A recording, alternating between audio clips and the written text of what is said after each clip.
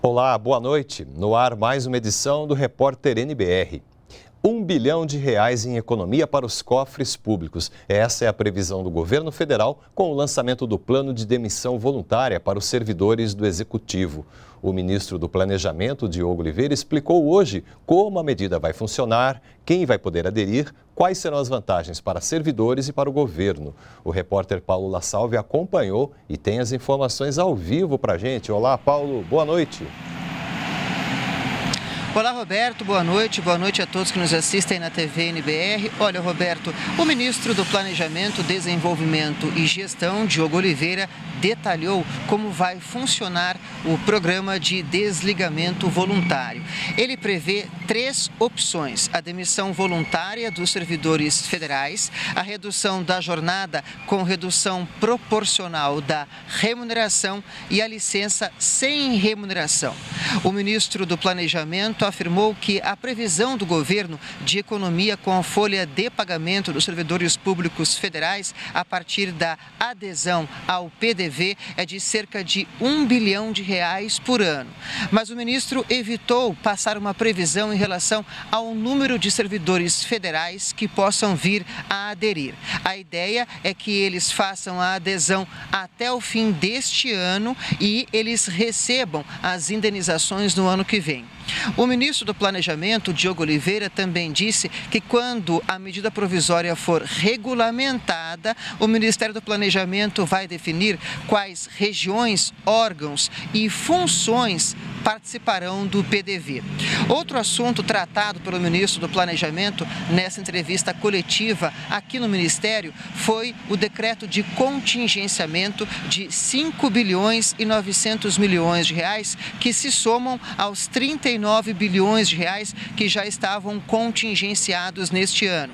Este anúncio ocorreu na semana passada, mas hoje houve o detalhamento de como vão ser contingenciados, ou seja, congelados esses 5 bilhões e 900 milhões de reais. Vamos acompanhar agora um trecho da entrevista do ministro do Planejamento, Diogo Oliveira, onde ele detalha como vai ocorrer este contingenciamento.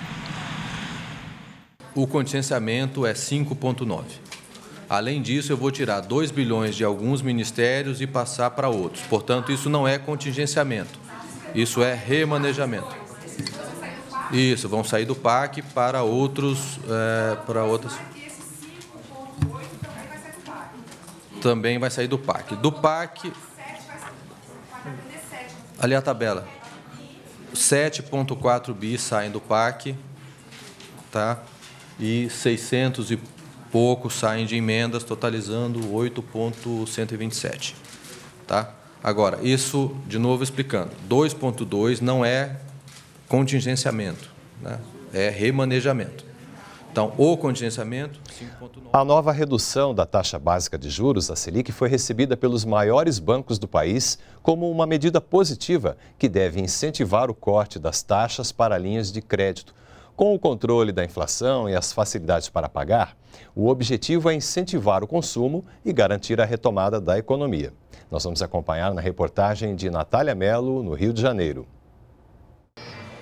A Selic, a taxa básica de juros, tem influência em toda a economia brasileira. Ela é a principal ferramenta do Banco Central para controlar os preços e a inflação.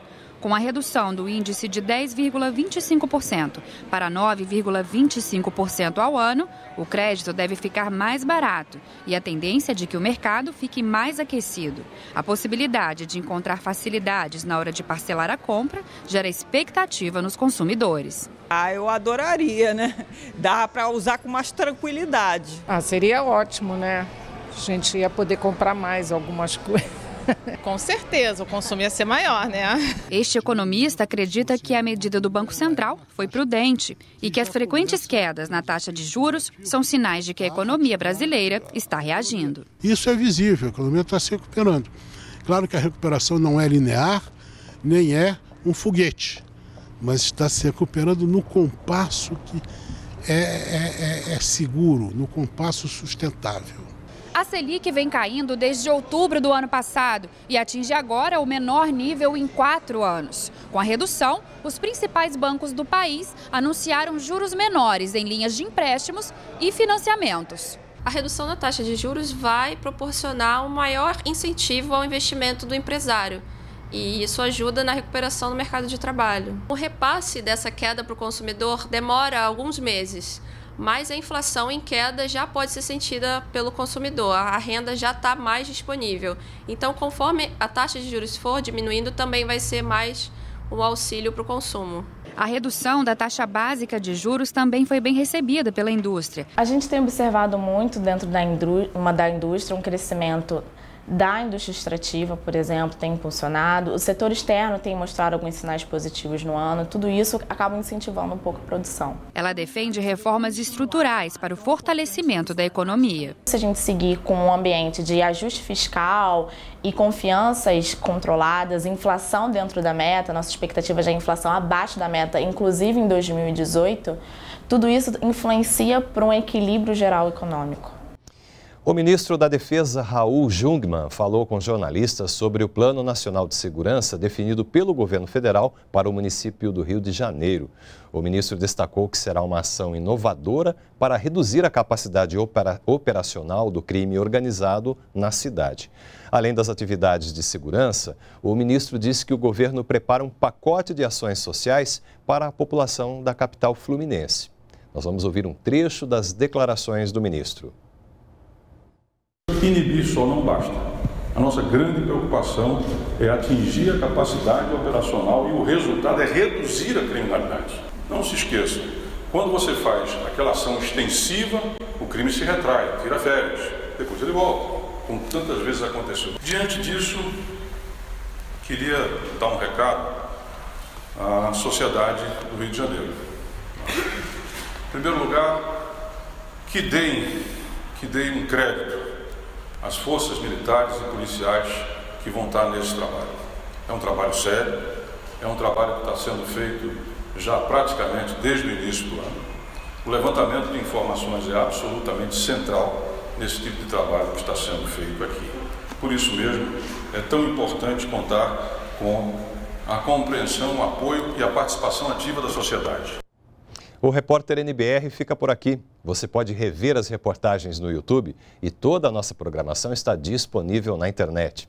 Uma boa noite para você e continue com a gente aqui na NBR, a TV do Governo Federal.